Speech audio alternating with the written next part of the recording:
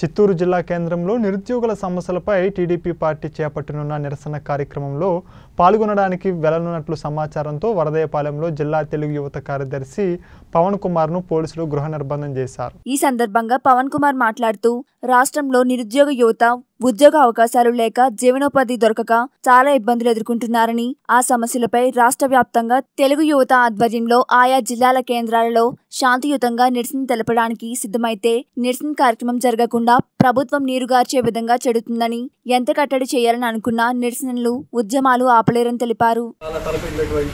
Collectorate ముట్టడి కార్యక్రమాన్ని అడ్డుకోవడంలో భాగంగా మమ్మల్ని గృహ నిర్బంధం చేసి మమ్మల్ని గృహం నుంచి ఎటు ఆపడమే ఆపడమే కాకుండా మేమేదైతే సందేశాన్ని చెప్పాలని అనుకుంటున్నామో మమ్మల్ని చెప్పనివ్వకుండా ఈ నిరుద్యోగ సమస్య ఏదైతే ఉందో ఆ సమస్యని వీళ్ళు బయటకు రానివ్వకుండా మమ్మల్ని ఆపాలని చెప్పి చూస్తున్నారు. నిరుద్యోగ సమస్య అనేది గత ప్రభుత్వం నిరుద్యోగ భృతిని ఇచ్చి నిరుద్యోగాన్ని ఎలా ప్రోత్సహించిందో ఈ ప్రభుత్వం ప్రోత్సాహాలు ఏమి ఇవ్వకపోను. ఇప్పుడు ఏంటంటే నిరుద్యోగులు వాళ్ళ వాళ్ళ వాణిని సైతం వినిపించకుండా వాళ్ళు ఎక్కడికక్కడ అడ్డుకుంటూ వాళ్ళని బయటికి తీసుకురానివ్వకుండా ఎటువంటి కార్యాచరణ లేకుండా జాబులు ఇస్తాం మేము అధికారంలోకి వచ్చి జాబులు ఇస్తాం అన్నటువంటి వ్యక్తులే ఈరోజు జాబుల గురించి మాట మాట్లాడినవ్వకుండా యువతని అడ్డుకుంటున్నారు.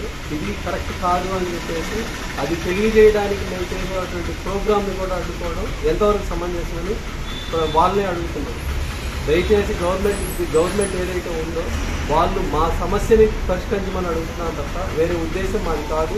యువతకి మీరు ఏదైనా సహకరించి మాకు మాకు ఏదైనా న్యాయం చేయాలని నేను కోరుతున్నాను